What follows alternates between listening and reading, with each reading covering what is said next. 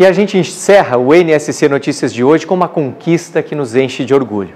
A região oeste agora tem uma imagem de alta definição para você acompanhar a nossa programação. O mais moderno em tecnologia, com as primeiras câmeras robôs de Santa Catarina, passam a fazer parte do dia a dia da nossa emissora de Chapecó para toda a região.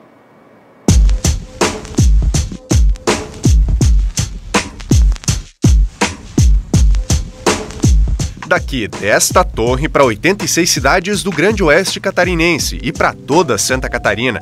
Até última sexta-feira, o Jornal do Almoço local saía desta mesa de operações. Mas a partir de hoje é desta outra, com tudo novo.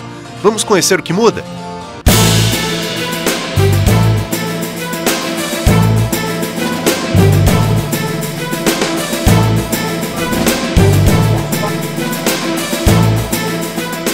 Agora, o seu JA tem captação com tecnologia 4K. É aqui nesse estúdio que estão as primeiras câmeras robô em um telejornal de Santa Catarina. Não precisa de um operador por trás delas.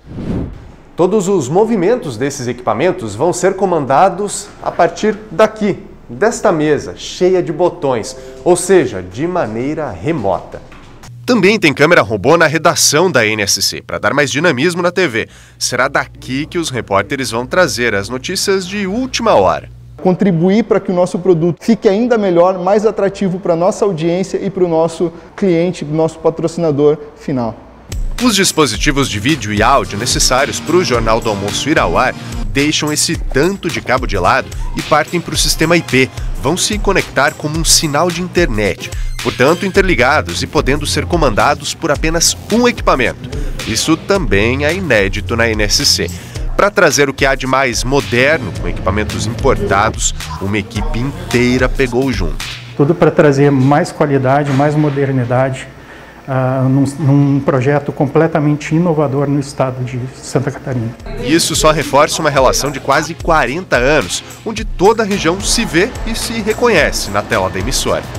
Eu entendo que essa mudança para o HD muda também a ótica com que a gente pode ver a região e mostrar a região para todo o estado e para todo o Brasil. A experiência de assistir NSC vai ficar ainda melhor, vai ficar cada vez mais uh, agradável e vai conseguir demonstrar com muito mais qualidade, com muito mais definição todas as belezas, as qualidades que o nosso Oeste apresenta. Agora, numa imagem de alta definição, com o que há de melhor para se transmitir, Chapecó e todo o Oeste seguem sendo nossos personagens na tela da TV.